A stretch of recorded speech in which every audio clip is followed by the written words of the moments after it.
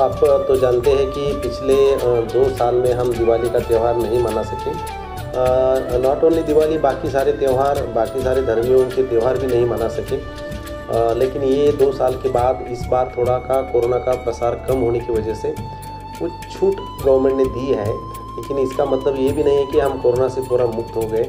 नई मुंबई में अभी भी तीस चालीस पेशेंट्स मिल रहे हैं। तो पूरा कमिश्नरेट में अगर अपन ध्यान में रखें तो सत्तर अस्सी पेशेंट आज भी मिलते रहते हैं। तो फिर भी बहुत सारी अनलॉक की तरह अनलॉक की वजह से बहुत सारी छूट्स आपने को मिली है। मैं सभी नई मुंबई के हमारे सारे आवासियों को रिक्वेस्ट भी करता हूँ। शुभकामनाएँ देता हूँ। नई मुंबई पुलिस हमेशा आपके साथ है। अभी परसों हमने हमारा भी एक परिपत्रक जारी किया, सूचना जारी की माननीय पुलिस आयुक्त की तरफ़ से कि भाई इस त्यौहार में ज़्यादा जान, ज़्यादा खबरदारी पुलिस को लेनी पड़ेगी। क्योंकि पिछले एक दो साल में लॉकडाउन की वजह से कुछ वारदातें, चोरी की या चेन स्नैचिंग की थोड़ी सी कम हुई थी, लेकिन इसमें अभी काफ़ी बढ़ोतरी की संभावना है।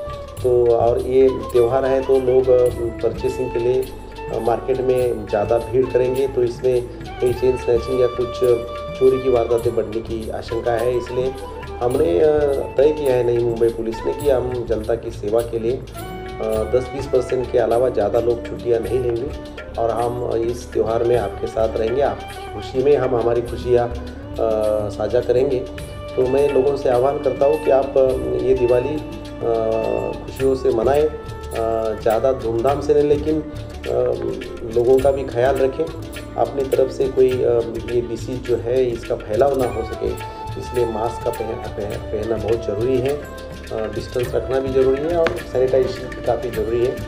गवर्नमेंट ने अभी फ़िलहाल एक परिपत्रक जारी किया है कि गवर्नमेंट ऑफिशियल्स सारे अपने काम में mask पहनाएँगे। It is an compulsory. तो लोगों को भी अपील है कि वो भी अपना मास्क पहने, भीड़ भीड़ जगह में किसी भी हालत में मास्क के बिना ना जाए। और ये त्यौहार गरीबों के साथ ज़रूरतमंदों के साथ ये अपन मनाएँ।